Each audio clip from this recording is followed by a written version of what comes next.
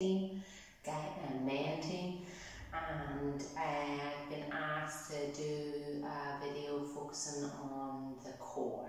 Okay, so what you need to know about the core is you've got core deep muscles of every um, joint in the body.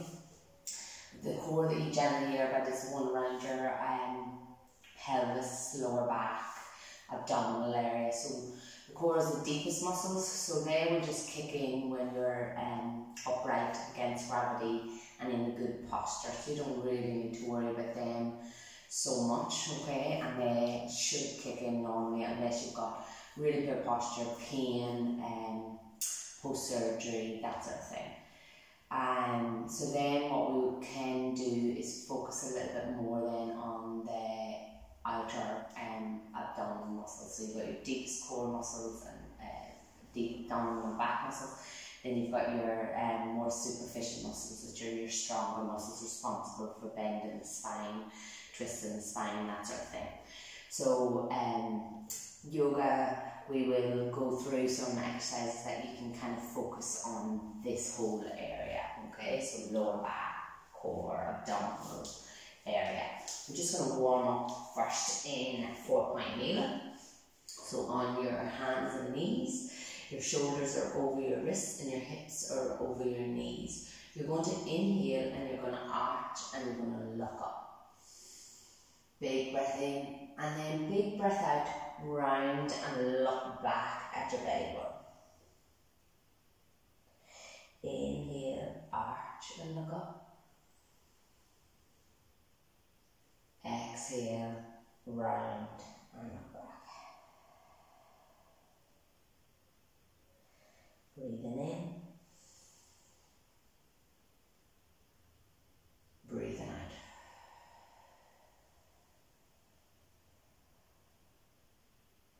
Breathing in.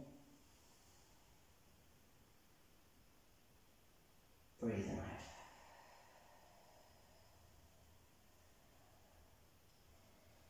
So you're just warming up the spine here into flexion and extension. Getting each vertebrae in the spine moving. A little bit of weight through your wrists. So just with your own breath, make sure you're moving the head through the spine.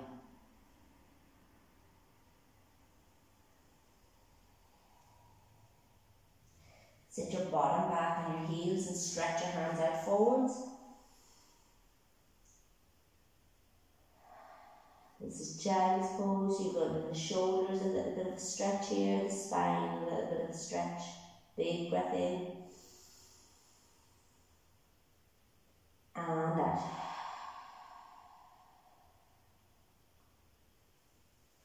Come back up to your four point kneeling position. Bring your left hand up in line with your nose, and then you're going to reach up with the right hand, breathing in. And then tread your right hand under the left armpit, breathing out. Breathing in, reach all the way. Breathing out, thread on. So you're getting a bit of a twist here through the spine. Keep the connection with your breath. And out.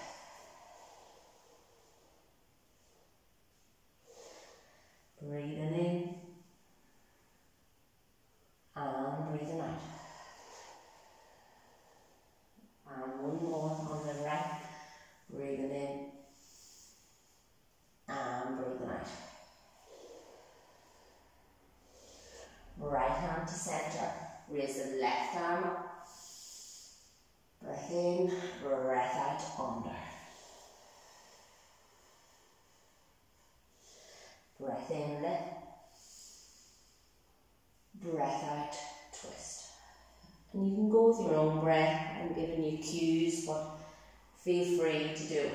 breath.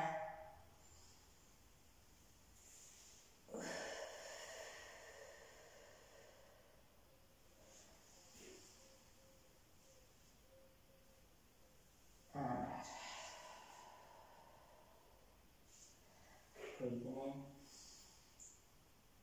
and breathing out. Come back to four point kneeling.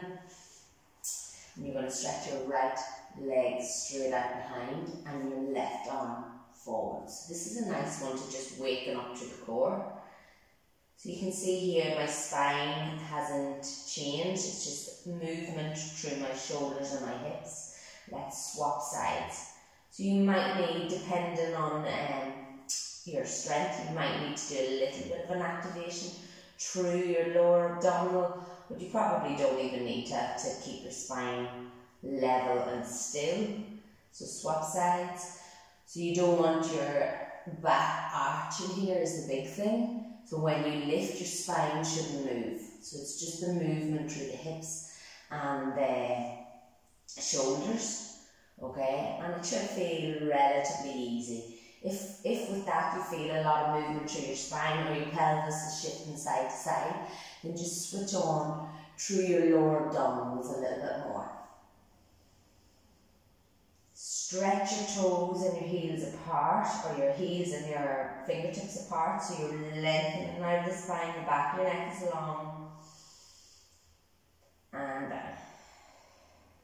So you're trying to like grow the space between each vertebra here.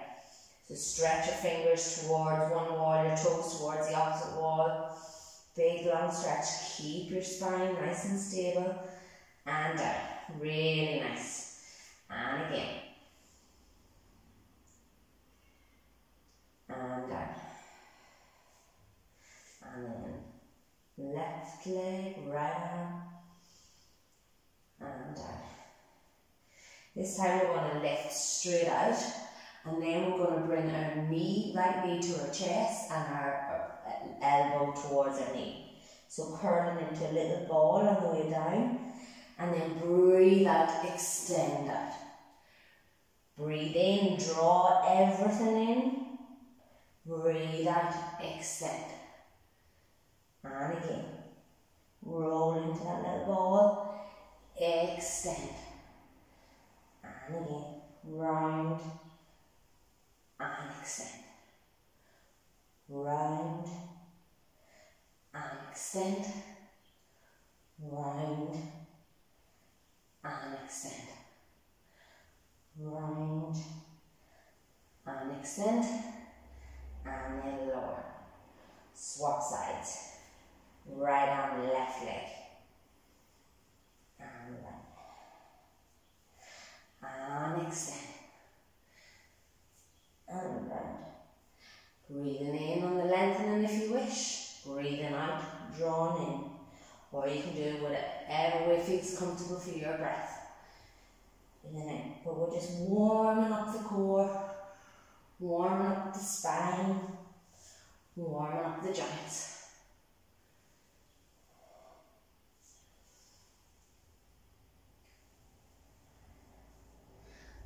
Last one.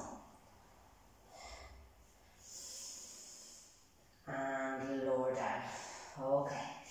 You might want to shake out the hands, okay? Stretch the wrists all the way forwards, all the way back, all the way forwards, all the way back. We're going to be doing a little bit of work through our hands. So you might feel it through the wrists. You can always come onto your forearms at any times that you feel that your wrists are getting a little bit too much work, okay? So we're going to lift up into our downward dog. So we're going to take it slow till we get our downward dog nice and right. Okay, so you're going to tuck your toes under, your shoulders are over your wrists and your hips over your knees. You're going to lift your hips. And then you're going to use your hands and press your whole body back towards your thighs. So you can see my hips are high, my knees are bent, and I'm right up on my toes. Let your head hang down and then push through your wrists a little bit more so you're pressing your body all the way back. Keep your hips as high as this you need to keep that length in your spine. So you can see here that the spine is nice and long, okay? You're not rounded. You've got a nice long spine. So this might be how it looks for you. Or you can try and straighten the legs a little bit, or you can try and lower the heels. It's really variable depending on your flexibility, what this pose will look like. but you want a nice distance between your wrists and your feet. So you can walk your feet back. If you're if you're like this, then you're too close. So just walk your feet back a little, lift your hips a little higher. Keep the knees bent. Only lower the heels if that's available. You don't need to work on that so much. You want to really focus on getting the length through your spine. Make sure the arms are straight, the arms are active so you're just not hanging through the shoulder joint. Press into the mat with your hands, press into the mat with your feet. Lift through the hips, lengthen through the spine, head is nice and long and loose. Big breath in. And breath out. Okay, so you can come down here into child's pose for a little bit of a break if you need. Otherwise, we're going to bring our knees towards the ground and we're just going to almost go back into that four point kneeling position but we're hovering the knees slightly off the ground. So this is a really nice core one here. So you're just warming up to the core again and then you're going to shoot back up into your downward dog. and then bend the knees almost into your four point knee position and then shoot back up. And again, lower the knees. So pause here and you can hold this position or you can try and lift one leg, lower down, lift the opposite leg, lower down, keep the knees hovering. You can lift one arm, it's very hard not to shift the weight here. Shift the weight slightly into the right hand and come down, left, hand lowers, right hand lifts. And back down. Come down into your child's pose, your downward dog. The other one is fine. So you're going to have a few breaths here. Or in child's pose if you need the rest. Let's hover the knees again, okay? And you're either going to go through that where you lift one leg or you're going to do one leg and the opposite arm. And you're going to pause for two breaths. Swap sides.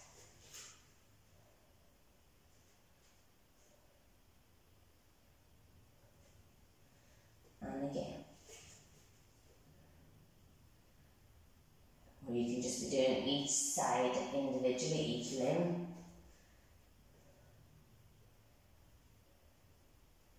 Let's do one more.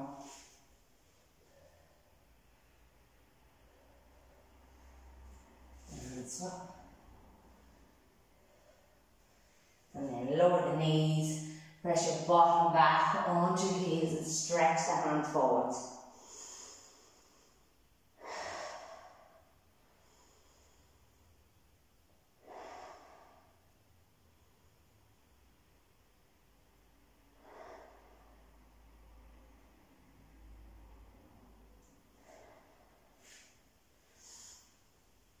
Okay, let's come back and we're going to come onto our forearms this time. So you're going to have your shoulders over your elbows this time and your hands straight out in front. Then you're going to tuck your toes under and you're going to lift your hips as if into that downward dog position. So you can bend your knees as much as you need to. Press through your elbows this time, allow your head to relax down. Keep your hips lifted, keep your knees bent as much as you need to to keep that length in the spine, okay? And then you're going to come from here into a plank position. So you're walking your feet back. And your shoulders are over your elbows, slightly forward, I would say, of your elbows. Pause here. And then lower your belly all the way onto the floor. Bring your hands back behind you so your hands are facing towards your hips. Your toes are together and your chin is tucked in and the back of your neck is long. And then you're going to lift through your legs, lift through your arms and you're coming into a slight back bend. So we're working the deep back muscles here as well as lengthening through the abdominals and activating through there.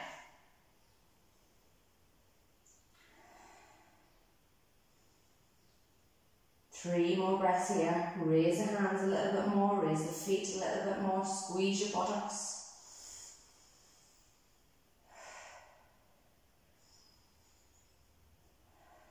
And then lower the hands, rest the forehead on the hands. Let's go again into that after two breaths.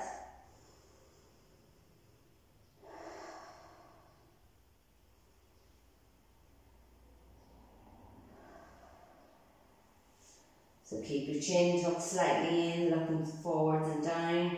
Raise the arms, raise the leg, toes together, palms facing the hips. Raise the arms.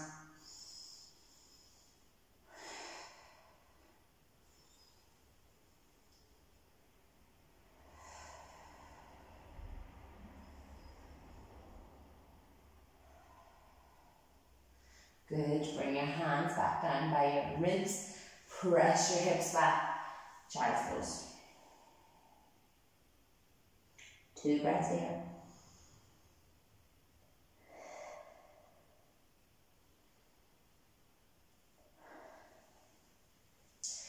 Then we're going to come into our plank position on our wrists this time. So our shoulders are above our um, wrists. And then we've got a nice line from our shoulder to our hips to all the way to our ankles. The chin's tucked in and we're looking slightly forwards and down. So our head is also an extension of our spine. Okay, so what I want you to do here is I want you to take a breath into your belly. So breathe in, feel the belly rise. And then breathe out slightly, draw your belly button back towards the spine. Big breath in, feel the belly rise. And then breath out, draw the belly button back towards the spine. Breathe in, belly button rises. Breathe out, draw it back in. Then we're going to bend your elbows and we're going to come down to chaturanga, which is an alternate push-up. So your elbows stay in by your side here and just hover above the ground and then lower down. Raise the hands, raise the feet, tuck the chin in, little bit of that back bend again. Bring your hands back to where your ribs are.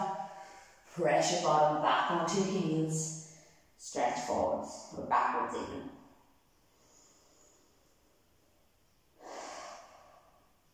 Big breath in. And out. Let's come back into that plank position. Okay, breathe in. We're just going to do one big breath in here. And then breathe out, draw the belly button towards the spine. We're going to bend our elbows again and pause in our chaturanga, so just hovering above the ground here. And then we're going to push straight back up into our plank position. Okay, so you should see there that there's no arching through my lower back. If there is, you want to be really focusing on activating through your lower um, abdominals and belly button area. So let's just do that again, keeping no um, arch in the back. So keep the back steady basically. So lowering down and then pressing back. Good, and then let's press back into our downward dog. So keep the hips high, Bend the knee, head forward. Good.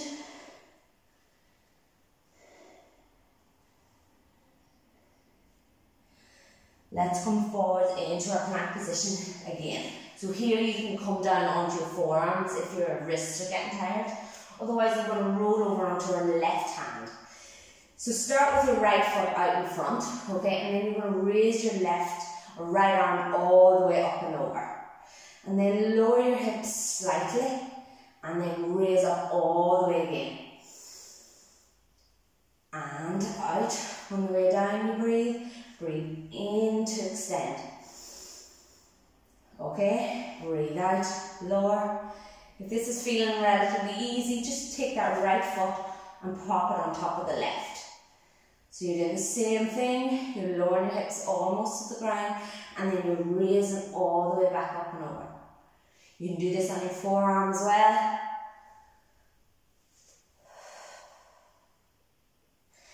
And down. And, and last one. And then come back into that plank position. You can press back into downward dog or into child's pose, whichever you wish. And just pause for two breaths.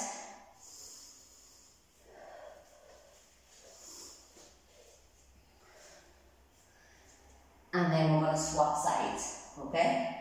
So you're going to come into your plank position and this time you're rolling over onto your right wrist. Raise the left arm up and over and then lower through the hips. And again. And lower. And again. And lower. And remember if you want to advance it, you can even lift that left leg. So keep that left leg slightly off. So you're bringing in your obliques here a little bit. You're bringing in the core, you're bringing in your quadratus lumborum, your hips. And then come back into your downward dog. Lower the knees, press back into your child pose. Big breath in. Big breath out. Big breath in. Big breath out. Okay, let's just finish off the core workout by coming onto our back. Okay? So, you're going to rest the head down and you're going to hug your knees into your chest. Then you're going to keep your right knee in your chest as you lengthen the left leg out.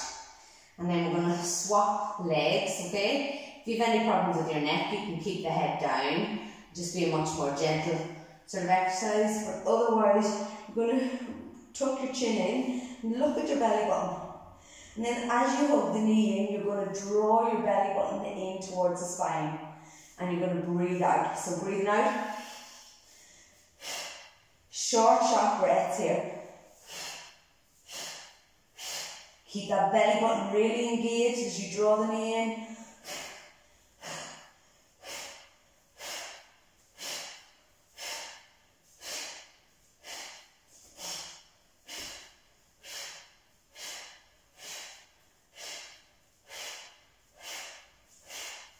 And lower your head, draw both knees in. So that's a different way of breathing, through the breath and that exhale, drawing the belly button towards your spine, you're really trying to activate through the abdominals, okay? So we're going to come into our um, to a twist here. So we're going to have our left leg out in front, our left elbow comes to our right knee, and then we come back to centre, but we don't lower the head, and then we turn and swap sides. Okay, so breathing out, breathe in to come to centre, breathe out to twisted side. So it's really about using your breath and that drawing in of the abdominal and the belly button area and the breath out. Rather than doing it fast. So nice and slow. You increase the time under tension to make the muscles work that little bit harder. And you get time to really draw the belly button towards the spine to activate through the muscles that we want.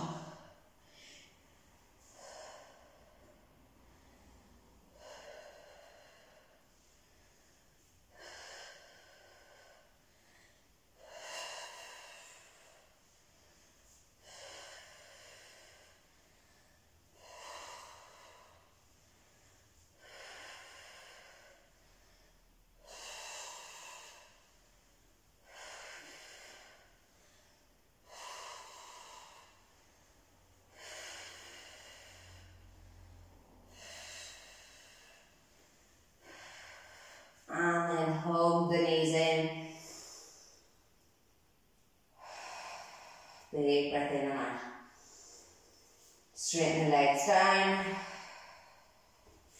Turn over onto your side. And come up into sitting.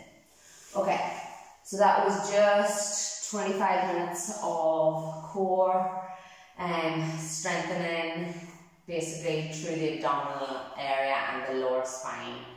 Um, if you have any questions about that, just drop me a line or a comment um, and I can modify or give you some modifications if you're having any struggles. Okay, thank you.